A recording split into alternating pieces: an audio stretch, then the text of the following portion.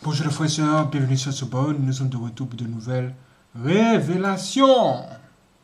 Révélation sur son rituel d'argent. Qu'est-ce qu'il a fait pour avoir de l'argent? Quel était les problèmes là? C'est ce que nous allons découvrir ici. Et vous, vous allez faire très attention. Aïe aïe aïe. Écoutons soigneusement tout ça. Et là, maintenant. C'est parti. Bon, il y a un monsieur qui... euh, il était fils unique. Donc, il n'avait pas de frère, il n'avait pas de sœur. Et il était fils unique, il vivait que avec sa maman. Et son papa était décédé. Et il était très, très pauvre. Donc, il, faisait, il, demandait, il trouvait, il trouvait pas un vrai boulot. Donc, il était trop dans les petits boulots euh, de jonglage. Et sa maman a eu un cancer, un cancer du sein. Donc, il fallait qu'on l'opère. Il n'avait pas les moyens, il n'avait rien. Il a essayé de faire des prêts partout, partout. euh, mais finalement, la maman n'a pas tenu le coup et elle est décédée. Et quand sa maman décède, il informe quand même les gens, bon, ça va, tout le monde est au courant que sa maman est décédée. Et il a un camarade de classe qui vient au décès de sa, au deuil de sa maman. Et après le- l'enterrement, son, camarade euh, s'approche un peu de lui. Il lui demande qu'est-ce qui s'est passé. Il dit non, la mère était malade, mais j'avais pas les moyens pour, pour la soigner. Finalement, elle est décédée. Et ça me fait très mal parce que bon, j'aurais pu sauver ma mère si j'avais trouvé un bon travail et tout. Euh, le gars lui dit, ne t'inquiète pas, je vais t'aider. Je vais t'aider, tu vas trouver quelque chose à faire. Donc, euh, retrouve-moi au marché Mbopi. Mbopi, ce marché qui a Douala. Donc, il vient au marché Mbopi. Le monsieur lui présente quelqu'un. C'est un biafrais. Il lui dit, euh, euh, nous, on va pas te demander grand-chose. C'est très simple. Tu nous ramènes seulement l'os d'un enfant de 6 ans. L'os du pied d'un enfant de 6 ans. Et on te donne 3 millions, tu lances ton business. Bon. Il se dit, mais c'est un peu compliqué. Son, ami lui dit, non, mais c'est comme ça qu'on fait. Et puis, euh, c'est juste ça. Là, tu as tes 3 millions, tu peux lancer ton, ton business et tu commences à tourner. Ah, il réfléchit, finalement. euh, il, commence à chercher les, les morguiers. Il voit avec un morguier qui lui dit que bon, il y aura une levée de corps d'un enfant de 6 ans. Désolé. Il y aura une levée de corps justement d'un enfant de 6 ans dans tel jour, dans tel nombre de jours. Donc, il s'arrange avec euh, le morguier et puis il va, il va à l'enterrement de cet enfant. Bon, quand c'est l'enterrement, tout le monde peut venir. On, ne sait pas qui a mené tel. Donc, il fait comme s'il est l'ami de telle personne de la famille. Il vient à l'enterrement de l'enfant. Et euh, après l'enterrement, il a vu où on a enterré. Et quelques jours plus tard, il va déterrer et il prend l'os du pied. Il va donner euh, au Nigérian. Et le, Mi- le- le Nigérian lui donne justement ses 3 millions. Bon, il se dit, voilà, ça, ça a bien marché pour une, petite affaire comme ça. Je suis sorti de là avec 3 millions. Il lance sa petite activité, ça tourne un peu. Et euh, il n'y a pas de clients. C'est bizarre parce que son business, il, a des, voisins qui font la même chose. Il a commencé à vendre des pièces détachées de quincaillerie, des petits trucs de, de, de, quincaillerie. Mais euh, ça marchait pas vraiment, vraiment. Il n'y avait pas de clients. Et il appelle son ami, lui dit c'est compliqué, mon business ne tourne pas. Son ami lui dit il faut aller voir le, le monsieur, il va te dire comment faire. Le monsieur lui dit ok aujourd'hui je te demande pas grand chose. J'ai besoin d'un autre truc, un os d'un enfant et d'une fille de 16 ans. Mais là on ne veut pas une fille qui est déjà morte. On veut une fille que toi-même tu auras tuée. Il dit non je peux pas. Le monsieur dit, bon, dans ce, dans ce cas, on ne sait pas comment tu vas faire, tu vas te débrouiller, mais sinon, c'est tout ce que je peux faire pour toi. Si tu m'apportes l'os d'une fille de 16 ans, euh, fraîchement tuée, euh, là, ça va aller. Il, se dit, bon, ça va. Il, va oser. De toutes les façons, il est déjà noyé. Il commence à faire le tour de la ville de Douala. Il rencontre des filles de rue. Les filles qui sont en rue, euh, dans, les trottoirs, qui font, qui font la rue. Et il te rencontre, il te demande ton âge, tu dis tu as 17 ans, il te dit descends de ma voiture. Et puis il rencontre une autre, tu as 16 ans, ok. Il a trouvé une fille de 16 ans. Il l'a menée chez lui et il lui a donné un- une malta. il a donné une malta, pardon. Ma voix n'est pas très bonne de froid en train de me tuer. Il est devenu Malta et il a empoisonné la Malta et la fille est morte. Il a enlevé l'os du pied et il a emballé le corps. Le reste du corps, il est parti jeter quelque part. Ok, il est parti de nos monsieur, le monsieur lui a donné l'argent et puis c'est comme ça que ça a continué. Finalement, il se retrouve en train d'avoir tué beaucoup de personnes et sacrifié. Et à un moment, il tombe malade. Il a eu l'éléphantiasie. Donc, il pouvait plus bouger. Ses pieds étaient enflés. Il, il, est resté couché chez lui. Il avait construit une maison à Makepe Misoke. Il reste couché chez lui. Les, les, les gens qu'il a tués, il commence à voir des gens entrer chez lui. Il est surpris parce qu'il vit seul. Il n'a pas pu se marier parce que s'il se mariait, euh, la, la, femme avec laquelle il vivait devait se rendre compte que, de son business parce qu'il ramenait des gens pour les tuer chez lui. Il faisait le, le, boulot chez lui. Et il ne s'est pas marié, il vivait toujours seul. Il avait une copine, mais elle n'était pas là. Et les gens qu'il a tués commencent à venir chez lui lui réclamer leur partie du corps. Donc, une femme arrive, elle dit qu'elle veut son pied. Wow. Une autre femme arrive, elle dit qu'elle veut sa main. Une autre femme arrive, elle dit qu'elle veut son bras. Donc, il ne savait plus quoi faire. En plus, il avait des fantaisies. Donc, une de ses voisines se rend compte que le monsieur, on ne le voit pas trop, est un jour chez lui. Elle le voit assis, mais d'une façon carrément euh, méconnaissable. C'est cette femme alors qui l'amène dans une église et il va témoigner tout ça. Il est allé dans cette église, il a témoigné. Je pense que c'est même passé dans une chaîne de radio aussi, au Cameroun. Il a témoigné, il a raconté tout ce qu'il avait fait. Et après, bon, je sais pas s'il était mort ou pas. Donc voilà, la morale de ça, c'est que euh, bon, faites attention quand même aux personnes qu'on rencontre. On ne rentre pas chez n'importe qui et, n'importe comment. Donc voilà. Wow. Hmm. Comment est-ce qu'il a pu avoir ces gens qu'il a tués? C'est sans doute parce que ces gens ne priaient pas et n'étaient pas connectés au Saint-Esprit qui allait les révéler la véritable identité de qui est devant eux. Parce que oui, vous devez le faire. Vous ne devez pas sur cette terre, parce que nous sommes sur une terre de guerre. Soit tu manges, soit on te mange. C'est ce qui se passe ici. Le saviez-vous? Et qu'on fait dire avec le diable Comment ça finit? Ça finit en général mal. Pour moi, mes frères et sœurs, peu importe les difficultés que vous traversez, priez, mais fléchissez les genoux devant Dieu. Et Dieu va vous aider à régler le problème. Mais allez voir le diable, avoir quoi que ce soit de chez lui, c'est vous mettre à le servir, puis mourir après, dans des conditions terribles. Dites-moi ce que vous en pensez.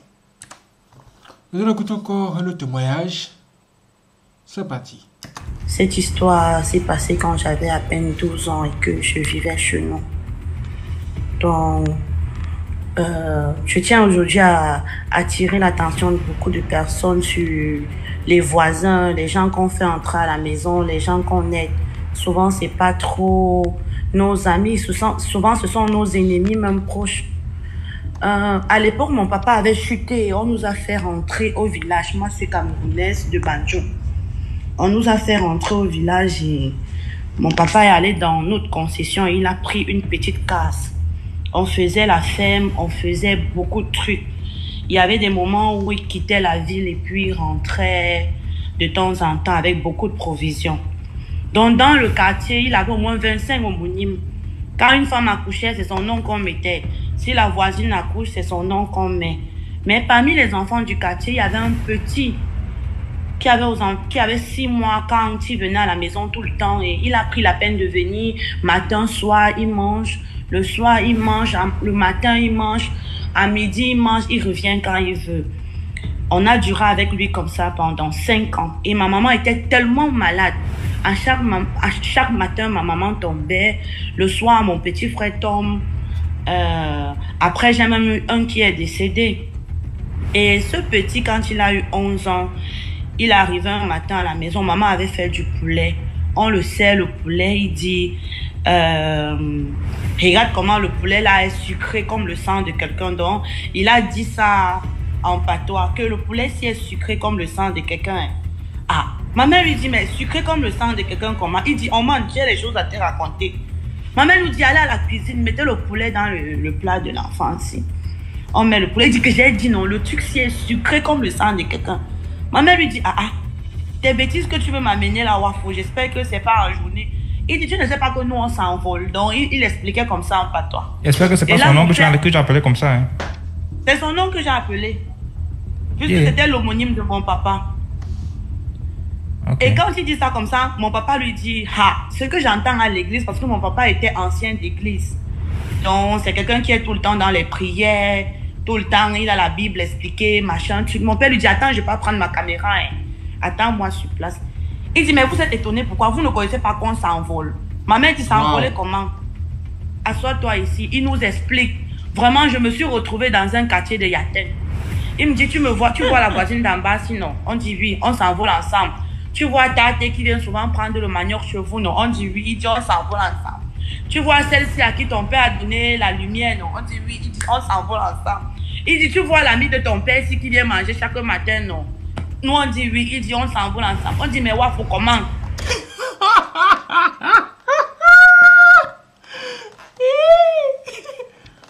Ah, ça voilà, ça vous savez ce que dire Ça veut dire que nous sommes des sorciers et on sort de notre corps la nuit. On sort de notre corps la nuit. On prend notre avion mystique pour aller faire des opérations hors du commun. Et vous, vous n'êtes pas au courant. Ha Il dit, je vous dis non, vous sortez vos yeux. Tu vois comment ta mère est malade là On dit oui, qu'il venait le soir comme ça pour manger ma mère. Mais comme mon père aime trop prier, ils ont entendu. Mon père disait le feu, le feu, le feu, le feu. C'est comme ça que ça les a brûlés. Et quand sa mère fuyait, sa mère a cassé son pied. C'est pour ça que sa mère est gravement malade dans la maison. Et depuis, elle demande à ma mère de monter euh, la, la rendre visite. Dès que ma mère va traverser le seuil de la porte, elle va guérir. Parce que dans leur rituel, quand ils te mangent dans la nuit, comme ils sont voisins, il faut qu'à 6 heures, ils viennent toquer chez toi, même 8 heures comme ça. Que tu sois la première personne à leur donner soit de l'eau à boire, soit à manger pour qu'ils puissent descendre ça, de la gorge si c'est calé. J'ai dit, Seigneur, nous on vit d'Ayatin sans connaître. DMG nous a cité tout le quartier était dans la sorcellerie, jusqu'à la grand-mère qui demandait les produits le matin. Comme cela ne suffit pas, il nous dit Est-ce que tu vois la tata qu'on a opérée là? Il On me dit oui. Il dit C'est nous qui avons fait ça. La mère de la tata là, on siège. Il y avait un arbre là, près du lycée. Il dit à ma mère Tu vois comment l'arbre là, il n'y a jamais les fruits sur ça, non Ma mère dit Oui, on ne faisait que mettre le poulet dans son plan. Il dit euh, L'arbre là, c'est où on siège. Mais il y a une chose que je vais vous dire. Ma mère dit Dis papa. Il dit, il faut plus manger le manioc de ma mère. Quand elle vient ici creuser le manioc dans ton champ comme ça, elle dit que elle va aller se battre au carrefour pour vendre. On lui dit oui papa. Il dit quand elle fait ça comme ça, elle dit elle te mange dans la nuit. Elle prend une petite partie comme ça là de ce qu'elle a mangé dans la nuit. Elle met ça sur le, le, le- manioc qu'on a fait là. Quand elle vend ça aux gens, ça passe que beaucoup, beaucoup de, de, de, de- de personnes comme ça au quartier. Quand on- et comme ma mère aime le Congo, ça, ma mère ne faisait que doser le poulet.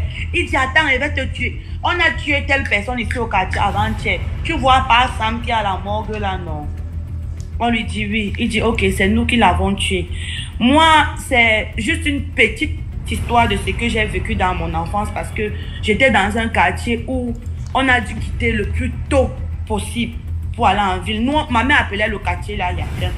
Juste pour dire aux gens, euh, souvent les voisins, souvent les amis ne sont pas les amis. Souvent tu te réveilles le matin comme ça, on vient te faire des cadeaux empoisonnés.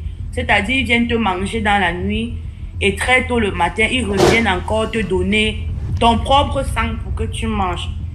Je t'assure, jusqu'à nos jours, moi, j'ai la, phobie de, l'amitié. Je, je n'aime même pas les voisins. Je suis commerçante, mais quand tu viens me dire le matin, Lynn, bonjour, je dis, celui-ci est venu comme ça là, ou dans la nuit, il m'a fait quoi? Je dis, ce petit nous a expliqué comment il déterre les gens au quartier, comment quand quelqu'un meurt, généralement, cette personne n'est pas morte. Et à minuit, ils vont faire des trucs sur la tombe là. Il y a une petite fille qui est morte au quartier. Ça faisait, aujourd'hui, ça va faire 25 ans. Mais quand il nous racontait l'histoire, ça faisait à peine 6 mois. Parce qu'il a raconté l'histoire deux semaines après, sa maman est décédée. Il nous il dit ceci à ma mère que euh, est-ce que tu sais que la petite fille qui est morte là n'était pas morte? Ma mère lui dit comment? Il dit non. Quand nous on mange quelqu'un comme ça, elle meurt, nous on demande à sa maman de ne pas mettre le corps à la morgue.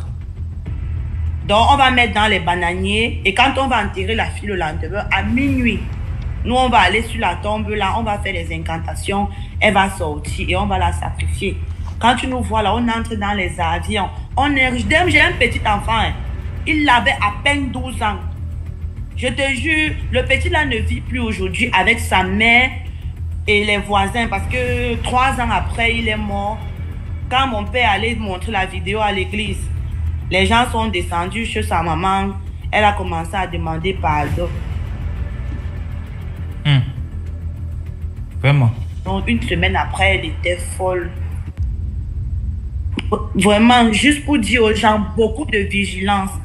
Les, les, les, les amitiés qui sont dehors là, ça, ça ne vaut pas la peine. Le, voisinage même, même pour qu'un voisin donne la nourriture à ton enfant pour que l'enfant mange, ce n'est plus. Sa maman est morte deux semaines après. Moi, je dis, c'est mon histoire à moi. Hmm. C'est mon histoire à moi. Moi, j'avais la phobie quand j'allais à l'école. Je voyais les gens passer. Tellement j'avais peur parce que comme j'avais un papa qui était à l'église, il nous faisait voir les films à l'époque. The End of the Week, l'enterrement difficile. Il y a tellement. Donc, l'habitude de mettre cela pour, pour nous édifier, non, pour nous demander de ne pas prendre les bonbons aux gens à l'école, de ne Mhm. pas sortir n'importe comment. Moi, c'est pour... Aujourd'hui, je suis maman de quatre enfants. Moi, je, Oh. j'éduque mes enfants selon la bonne voie. Il y a souvent des voisins, là, même quand tu viens donner le cadeau à mon enfant, moi, je te demande de, de ne pas donner à manger à mon enfant ou autre chose parce que c'est bizarre. C'est, c'est, c'est trop bizarre. C'est, c'est, c'est- Les gens sont très bizarres dehors. Tu ne sais pas comment les gens cuisinent chez eux. Tu vis avec les voisins qui sont sorciers. Tu peux vivre même à la maison avec ton enfant et ensuite on, on l'initie. Mhm. La cantine, moi je refuse parce que même ces femmes qui sont à la cantine de l'école, souvent tu ne connais même pas comment elles font pour faire la cuisine, pour que les enfants aiment. Moi, moi je, je demande à toute maman de nos jours de, de vraiment être vigilante sur ce qui concerne le voisinage et tout. Le voisin ne vient pas toujours parce que le voisin t'aime. La, la, Ah. la vie est Merci très beaucoup bizarre. Moi, pour l'histoire, mais- Oui, j'ai demandé à, à partager cela avec vous si ça peut vraiment aider d'autres personnes parce que moi, Non, ça va, ça, Depuis ce qui est sûr, ça va aider beaucoup de personnes. Ici, là, on est quand même petite 1300. Même si jusqu'aujourd'hui, 1000 je personnes suis- refusent, il y aura quand même 300 qui vont dire euh, Oui, moi, je vais, je vais essayer de, de, de, de, dire à mes enfants de ne pas faire ci, de ne pas faire ça. C'est ce qui est Non, non, non. Moi, c'est une histoire qui m'a touchée. Histoire qui m'a glacée. Je suis dans un entourage, je suis commerçante et tout. Mais j'arrive pas à communiquer avec les gens. Tu vois un petit enfant de 11 ans qui est initié, il tue les gens, il est au quartier, il te dit comment il vient porter les enfants des gens pour se balader avec. Ça ne vaut pas la peine, papa. Wow. Il faut que les mamans, les mamans soyons vigilantes, soyons même vigilantes au genre de nounous qu'on ramène à la maison. Parce que les mamans, les mamans aujourd'hui écrivent sur Facebook, moi je vois recherche de ménagère. Tu ne sais pas de quel ventre la ménagère est sortie. Tu ne connais pas le caractère de chez eux. Vraiment, on ne prend pas la peine? Moi, je vois beaucoup de mamans sur Facebook écrire recherche de ménagère. La, la, la, la ménagère dit oui. Elle emploie seulement la ménagère à la maison. Souvent, il faut beaucoup prier pour que le Seigneur montre la bonne voie, vraiment. Oui, oui. C'est mon histoire que je tenais à raconter avec vous. Mes frères et sœurs, ce qu'elle vient de dire, c'est la pure vérité. Et même à ce moment, je suis de vous parler. Elle subit de l'attaque des enfants sorciers. Et oui, vous le voyez, ils sont petits, ils ont 5 ans, même peut-être moins, mais ils sont déjà initiés. Et ce qu'ils font dans la sorcellerie, c'est la même chose que les grands font. C'est-à-dire si les grands ne peuvent pas venir vous attaquer parce que vous avez dit que oh, ce sont les grandes personnes et ces personnes-là sont vos ennemis, ces grands-là vont envoyer les enfants. Parce vont se dire que oh, vous aimez les enfants. Comme vous aimez les enfants, ils vont vous envoyer les enfants sorciers. Et les enfants sorciers vont faire ce que eux sont censés faire. Parce que dans la sorcellerie, comme je vous l'ai dit, ils font la même chose. Ils exécutent la même mission. Et en Afrique, c'est ça. Les enfants sorciers. J'ai regardé tout ça, je me suis dit que avant que je mette au monde, avant que je mette au monde mes enfants, je vais d'abord voyager pour voir ce qui se passe chez les blancs là-bas. Est-ce que c'est la même chose comme en Afrique ici? Est-ce que la société se donne à l'école aussi Je vais évaluer tout ça avant de mettre les enfants au monde. Pour que les enfants puissent grandir dans un lieu où il n'y a pas de sorciers. Ou bien dans un lieu où il n'y a pas beaucoup de sorciers. Comme on ne peut pas dire qu'il n'y a pas de sorciers, c'est ça. Parce qu'il y, en y en aura au moins un. Donc, soyez très vigilants. Apprenez les enfants à prier. Ne dites pas, oh, les enfants sont petits, ils ont 5 ans, ils ne peuvent pas prier. Attendant qu'ils vont avoir 10 ans, quand ils vont grandir un peu. Non, hein? Dans la sorcellerie, on initie même les enfants qui sont dans le ventre. Ça veut dire que vous, vous devez vous réveiller un peu. Réveillez-vous même beaucoup. Le monde fait peur. Ha! Nous allons écouter encore une autre femme qui a l'air de traverser des situations difficiles.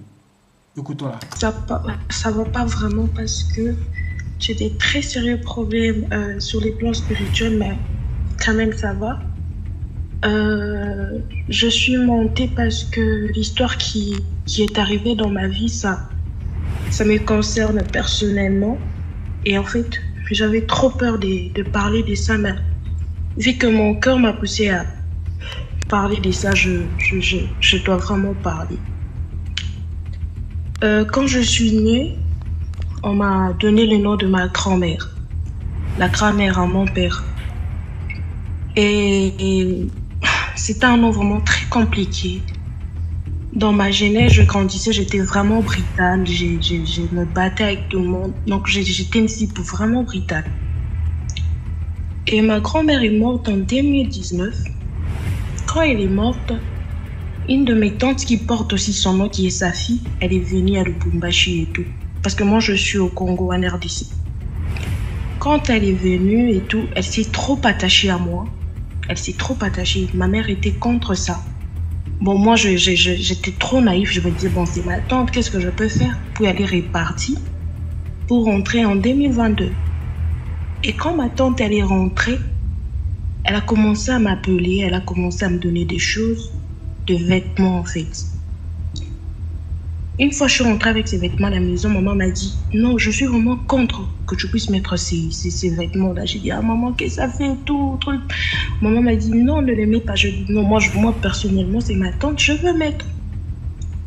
Et quand je mettais ces habits, c'est comme si c'était plus moi, mais on dirait que mon corps, il était possédé par deux choses.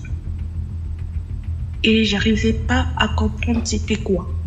Et à partir de là, je commençais à faire des choses que je ne faisais pas avant. J'ai commencé à, fréquenter des gens, des endroits que je fréquentais pas avant. Donc j'ai été une femme différente de celle que j'étais avant. Et j'ai commencé à souffrir à cause de ça. J'ai commencé à pleurer parce que ça, ça n'allait plus dans ma vie. À chaque fois qu'un homme venait et te propose mariage, après il part. Il dit, il va partir comme ça, t'as plus de suite, rien du tout. Et dernièrement, j'ai pris la décision, je dis maintenant, trop c'est trop. Moi, je, sers quand même Dieu, mais pourquoi ce genre de choses, ça m'arrive à moi? Je commençais à prier, je commençais à prier, je commençais à prier. Jusqu'à ce qu'il y, a, il y a eu des révélations. Déjà que ma mère, c'est une femme qui prie beaucoup. Elle m'avait déjà dit de, de, de, faire attention à moi parce qu'il y avait des choses pas bien qui se planifiaient.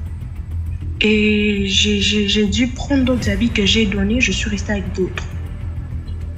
Et ce qui s'est passé aujourd'hui quand j'étais à la prière, en fait, Dieu, il est bon. Dieu, il agit, en fait, dans la vie des gens. il y a une très forte puissance de Dieu. J'arrivais pas à comprendre ce qui m'arrivait. Et quand on a commencé à prier, il y avait cet esprit-là des sirènes qui voulait pas quitter en fait. En fait, c'est quelque chose qui, qui voulait rester, c'est quelque chose qui voulait en fait bloquer ma vie, que je n'avance pas, que je ne puisse pas réussir dans ma vie. Aujourd'hui, il y a des gens qui souffrent dans leur, dans leur vie, pas parce qu'ils ont voulu ou quoi que ce soit, non, mais parce que le diable ou le monde des ténèbres a imposé des choses dans leur vie. Mais Dieu, tellement qu'il est amour, il est grand, l'histoire m'est arrivée aujourd'hui, je me suis sentie libérée. Et ça m'a boosté en fait d'en parler, de dire aux gens que euh, bien que Dieu est là pour délivrer, mais la décision aussi nous appartient. Il y a deux choses qu'on doit dire dans la vie. Non, j'ai dit non, assez au diable, je veux plus de ça dans ma vie. Et Dieu, il va, il sera là, il va, il va vraiment, il va, il va vraiment aussi en fait. Je tiens à te remercier de m'avoir fait monter. L'histoire, elle est tellement longue, mais je peux pas, j'ai, j'ai, je te donne juste des briefings de ce qui s'est passé et merci beaucoup. Que Dieu délivre cette femme. Revenons encore notre histoire. C'est une histoire que j'ai vécue quand j'étais toute petite. Euh, en fait, Jade, je, je vais partir euh, tout tout droit. Quand j'étais toute petite, euh, j'avais... La... Non, je suis pas gabonaise. Quand j'étais toute petite, j'avais l'âge de 7 ans comme ça. Pardon, faut pas gérer les commentaires, non, sinon je vais nous distraire aussi. Ok. Quand j'étais petite, j'avais l'âge de 7 ans comme ça, 7 ans, 8 ans. Et du coup, notre maison, c'était la maison là où on venait souvent faire la prière, quoi. Donc, euh, la prière que vraiment prier, il y avait un un prêtre exorciste qui venait souvent à la maison et du coup, comme ma grand-mère, c'est quelqu'un en fait qui est beaucoup sociable et du coup, elle invitait souvent certains de, de ses amis euh, venir euh, assister à la prière quoi. Et du coup, dans, dans ce groupe-là, en fait, il y avait une grand-mère, en fait, une copine à ma mère avec qui elle à ma grand-mère, en fait, qui vendait avec elle au marché.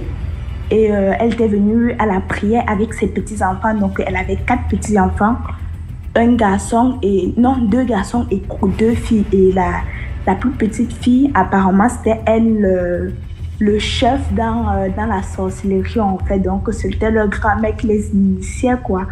Du coup là, euh, le truc ça s'est passé comment en fait? Les enfants ils ont raconté au prêtre que oh, euh, notre grand-mère nous a initiés parce que elle nous appelle dans sa chambre et tout et elle nous demande de manger. Donc elle fait sortir un petit mets de pistache. Aide nos enfants, à chaque enfant que manger et tout. Et puis maintenant, allez dans votre chambre. Après, quand minuit va sonner, vous, vous, sortez, vous sortez, vous dites à votre mère que vous voulez aller pisser quoi. Chacun à son tour, les enfants, ils partaient, euh, ils demandaient à leur mère parce que les, les quatre, ils avaient la même mère quoi. Chacun partait à son tour, dit à maman, je vais pisser. Et la mère arrivait dehors avec l'enfant. L'enfant, sa copie pour pisser. Et euh, 10 minutes, l'enfant est toujours là, il demande à l'enfant de se lever, on va entrer parce qu'il se fait tard, mais l'enfant ne comprend rien. Au final, elle porte l'enfant pour entrer avec l'enfant, quoi. Elle ne, elle ne comprend rien, quoi. Donc, c'est ça qu'ils ils expliquent au pasteur, quoi.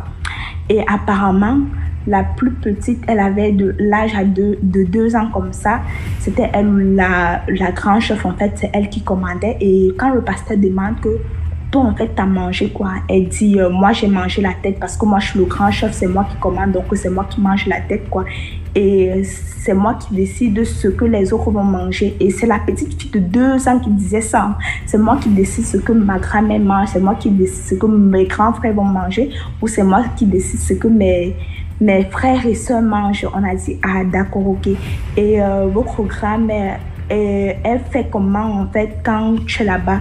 Elle dit que sa grand-mère en fait c'est dans dans la, le monde spirituel en fait c'est elle la, la plus petite en fait. Donc euh, eux c'est elle qui les a initiés mais arrivée là-bas c'est la plus petite c'est la elle la, patronne quoi. Et sa grand-mère c'est la plus petite quoi. Donc là-bas après la petite au fur et à mesure euh, qui sont petits en fait au fur et à mesure ils ont le grade quoi et du coup, euh, il, le, le, pasteur demande encore. Et parmi, parmi la famille, là, il y avait un aussi qui était venu, un de leurs oncles, en fait. Leur oncle, là, du coup, dans leur famille, ils ont des gens haut gradés, quoi. Donc, ils ont, il a leur oncle, il a, ils ont trois frères comme ça gradés. Donc, leur, ces trois frères-là ont, se sont consacrés pour lui mettre un démon en fait dans lui. Je te jure que DMG, quand on faisait la prière à la maison, le gars là, il soulevait une moi. Il y avait les verres, les assiettes avec une main. Et quand on le délivrait, nous les enfants, on était obligés de partir dans l'autre pièce parce que si le démon devait sortir, je te jure que quand on parlait au démon, on demande au démon, tu, tu es qui en fait, tu, euh, pourquoi tu fais quoi dans ce corps? Le démon dit, chez moi le camp, je fais ce que je veux, je suis le patron de ce corps. Si vous n'êtes pas d'accord, vous, vous, après on, commence à prier, prier, on le met euh, les crocs sur le corps, pas les yeux, les narines et tout. Le démon dit, attendez, je vais sortir, je vais sortir. Et euh, après, quand maintenant on, stoppe le cru, quoi, parce qu'on mettait euh, le sang de Jésus, il y a une huile là rouge qu'on dit, chez nous les chrétiens, on dit sang de Jésus. Il y a euh, un cruc aussi, le parfum Saint-Michel-Archange. En fait, les les qu'on travaille avec, on le met ça sur le corps. Le démon dit qu'il veut sortir, mais quand on arrête, le démon dit que non, je ne veux plus sortir, je ne veux pas sortir. Vous faites quoi? Vous montez, descendez. Vous montez, vous descendez. Le corps, si ça m'appartient, c'est mon corps. Donc, c'est que vous voulez, non. Je vais que rester sur ça. Après, maintenant, quand on recommence les prières, non, et le démon dit, il veut sortir, il veut sortir jusqu'à comme ça. À chaque fois, au fait, les, les les enfants, on les avait délivrés. Et l'autre monsieur, tellement son démon était fort, on avait demandé à ses frères et sœurs qu'ils étaient au gradé parce que franchement, pour enlever ce truc-là dans son corps, il fallait vraiment euh, le matériel, quoi, le bon matériel. Et on avait, plus que lui, on l'avait franchement, son démon était vraiment concentré pour qu'il ne, il ne puisse rien faire dans sa vie. Il n'avait pas de travail. Il y avait, même quand il venait souvent à la prière, c'était la grand-mère qui le payait le transport, quoi. Et du coup, on avait demandé à ses frères et sœurs de cotiser pour qu'on enlève euh, le démon dans son corps, mais non. Personne n'a cotisé jusqu'à maintenant. Je ne sais pas si euh, le démon est sorti ou s'il a toujours le démon dans son corps. C'était un peu ma petite histoire de ce soir. J'en connais une mais je vais descendre pour que d'autres viennent euh, raconter. Waouh! Incroyable, mais vrai. Nous allons écouter encore notre histoire. C'est parti. J'ai une histoire à raconter. C'est dans un appartement avec euh, beaucoup d'habitants. Il y a toutes sortes de pays. Excusez, je ne savais pas que tu allais me prendre. Je, respire comme ça. C'est pas facile de parler. que les, les, auditeurs soient passés. Il ne faudrait pas qu'ils nous chauffent. C'est pas facile de monter. On ne gagne rien en montant. C'est juste raconter nos expériences. On, on, espère que ça va changer la vie de quelqu'un. Donc, euh, qu'ils soient un peu.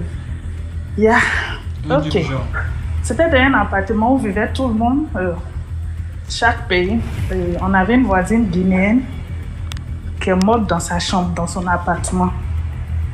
Et, yeah. Deux jours plus tard, la, la, dame de ménage est venue, la porte était fermée, je ne sais pas, mais après ils ont senti une odeur bizarre. Moi, je n'étais pas là à ce moment. C'est après on m'a raconté l'histoire. Donc, bon, après ils ont découvert que la dame est morte dans l'appartement. Elle n'a pas de famille, elle est guinéenne et c'était au Ghana. Donc, euh, ils ont tout fait pour entrer en contact avec sa famille. Sa, sa famille est venue l'enterrer et sa famille est partie. Deux semaines plus tard, la dame de ménage est venue encaisser l'argent de est venue encaisser son argent qu'elle a travaillé pour la dame. La dame l'a pas payé la dame est morte. Donc, comme la dame, la guinéenne, avait plus d'affinité avec la sud-africaine, la, la, femme de ménage ghanéenne, excusez-moi le ghanéen, c'est juste l'histoire que je compte. La dame a allé encaisser l'ami de celle qui est décédée. Elle dit, mais mon ami est décédé, tu sais dans quelles circonstances on l'a découvert et tout et tout. Elle n'est pas morte comme ça parce qu'elle a voulu mourir. Donc tu m'encaisses. Tu ne peux pas juste laisser tomber. Elle dit, non, j'ai travaillé. Elle dit, mais je ne suis pas de sa famille, c'est juste mon ami. Et elle était bien avec toi quand elle était vivante, elle te donnait plus que le salaire. Pourquoi tu viens m'encaisser? Elle dit non, elle a travaillé, elle veut son gain.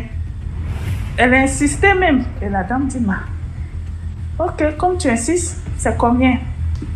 Elle a dit, oui, la dame avait les aérés, elle n'a pas payé, donc euh, elle a même ajouté l'argent. La voisine sud-africaine lui a donné. Elle dit, ah, ok, tiens, prends ton argent. Tu n'as pas de compassion. Elle lui a donné l'argent, elle-même, elle a oublié l'histoire. Une fois en passant, elle-même, elle a, elle quitté le pays. Et c'est une fois le propriétaire de la cour de, de l'appartement dont elle était l'appelle pour dire la dame de ménage te cherche. Mais cherche comment? Je ne suis plus là. Pourquoi? Quelle dame de ménage? Elle-même, elle ne se souvenait plus de l'histoire. On dit non, la dame de ménage de ton ami qui est décédée. Ça faisait déjà 3 à 4 ans. La dame te cherche parce que elle dit l'argent que tu lui as donné elle est, la source de ses problèmes. Donc elle te cherche pour te demander pardon. Elle dit mais je ne peux plus revenir dans ce pays. On m'a affecté dans un autre pays, je ne peux plus revenir. Et ne lui donne pas aussi mon, mon numéro. Donc euh, même aujourd'hui, la, la dame de ménage cherche l'autre dame pour lui demander pardon. Parce que l'autre dame, avant de donner l'argent, dit, mais toi, tu as tes quatre membres, tu as tes, tu as tes pieds, tu as tes mains, tu es vivant, tu respires. La dame est morte, on ne sait pas dans quelles circonstances elle est morte. Et tu viens m'encaisser pour combien? Tu n'as pas été, tu n'as pas eu de compassion. Donc, euh, c'est une manière de dire, il faut qu'on ait un peu de compassion pour des gens qui sont décédés ou même pour tout le monde. Quelqu'un qui est mort, tu vas l'encaisser d'une manière indirecte tu vas encaisser son ami qui n'a rien à voir avec cette histoire. Donc, euh, c'était un peu ça. Merci beaucoup. Waouh, vous avez entendu ça? C'est grave. En fait, Écoutons encore une autre histoire. En fait, euh, moi, c'est pour raconter une histoire, une histoire de mon grand frère. En fait, mon grand frère était un homme, euh, un homme en tenue. Attendez, je change de ça. Voilà, je disais tantôt, mon grand frère était un homme, un homme en tenue. Et du coup, il travaillait au nord. Il a, il, a fait, je pense, il a fait 10 ans au nord. Et là, du coup, euh, on avait notre premier grand frère, père à son âme, il, était mort. Il avait son ami qui était euh, dans l'armée de, dans, dans l'air. Et là, son, son ami, il a fait du genre, il a enlevé mon deuxième grand frère du Nord pour l'amener sur Yaoundé. Arrivé donc sur Yaoundé, euh, euh, il, dit à mon grand frère que mon grand frère va être son chauffeur. Mon grand frère, il n'a pas, il, n'a pas nié. Il a dit d'accord. Et c'est comme ça que chaque fois quand il avait ses sorties, il appelait, il appelait mon frère pour que mon frère parte l'accompagner. Et un jour donc, il dit à mon frère comme quoi, euh, je voudrais que tu m'accompagnes quelque part. Mon frère, mon frère a dit qu'il n'y avait aucun, aucun problème. Euh, mon frère prend dans la voiture, il part chercher l'ami de mon feu grand frère chez lui. C'est comme ça qu'il monte dans, dans, la voiture. Il dit à mon frère, accompagne-moi à un hôtel de, de la place, c'était à Yaoundé. Et arrivé devant l'hôtel, Arrivé devant l'hôtel, il dit à mon grand frère que tu m'attends dans la voiture. Moi, je monte à l'hôtel et arrivé dans la chambre d'hôtel, je vais t'envoyer le numéro de la chambre. C'est comme, comme ça qu'il a fait. Il est descendu de la voiture. Il est monté dans la chambre d'hôtel. Après, peut-être, mon frère a attendu dans la voiture pendant 30 minutes. C'est comme ça qu'il envoie un SMS à mon grand frère. Il dit à mon grand frère, tu me retrouves au cinquième étage. Au donc il, a donné le numéro de la chambre par SMS. C'est comme ça que mon grand frère, euh, il descend de la voiture, il, ferme la voiture, il entre dans l'hôtel. Arrivé dans l'hôtel, il prend euh, l'ascenseur. Il arrive au cinquième étage, il regarde le numéro de la chambre. Quand il voit donc le numéro de, de la chambre, il fait ce que l'ami de mon feu grand frère a, euh, l'avait demandé de faire. Il arrive devant la porte de la chambre, il toque, on lui demande d'entrer. Et, quand il ouvre la porte, il trouve beaucoup de gens dans, la, dans cette chambre. Tout le monde était assis. Et au niveau de la table, il y avait une femme blanche qui était toute, qui était toute nue. C'est comme ça que l'ami de mon, de mon premier feu grand frère demande donc à mon, à mon deuxième grand frère de, ça de, euh, d'entrer. Il entre donc et quand il entre, euh, l'ami de mon premier grand frère demande à, à, à mon deuxième grand frère qui était militaire de s'asseoir. Et que quand il demande donc à mon grand frère de s'asseoir, il y a un sixième sens qui lui a dit non, il ne faut pas t'asseoir. C'est comme ça que mon grand frère dit donc à l'ami de mon, de mon premier grand frère que non, j'ai une commission parce que euh, l'ami de mon premier grand frère, je peux dire qu'il a grandi chez nous parce qu'il venait chez nous, il dormait, donc il, connaissait mes parents. C'est comme ça que mon grand frère lui dit donc que non, j'ai une commission à faire aujourd'hui parce que maman, maman doit m'appeler et j'ai laissé mon, euh, mon téléphone dans ta voiture. Donc, ce qui va se passer, c'est que tu me laisses le temps de descendre, euh, récupérer le téléphone qui est dans la voiture. C'est comme ça, donc, il dit à mon grand frère que, OK, mon petit, va donc récupérer euh, le téléphone et après, tu, tu reviens. C'est comme ça que mon grand frère descend donc de... Il, il descend, il, il prend euh, l'ascenseur, il descend et quand il sort de l'hôtel, arrivé devant la voiture du monsieur, il appelle euh, l'ami de mon feu grand frère pour lui dire que grand, vraiment, je suis désolé. Ce que tu voulais me faire là, je n'ai pas aimé. Mais car cela, car cela, car cela ne tienne, tu vas venir trouver tes clés dans ta voiture. Donc, c'est donc ce qui s'est passé. Et depuis ce jour, mon grand frère a bloqué l'ami de mon, de mon feu grand frère. C'est pour dire quoi? C'est pour dire que dans la vie, ce n'est pas parce que c'est l'ami de ton grand frère que tu vas le suivre partout, partout. Parce que si mon, si mon frère n'avait pas un, un sixième sens, le monsieur allait le vendre. Donc, euh, c'est ça mon histoire de ce soir. Waouh, c'est extraordinaire. Dites-moi ce que vous en pensez. Sur ce, je vous donne rendez-vous pour la prochaine vidéo sur ce bon. Abonnez-vous et partagez cette vidéo à vos amis.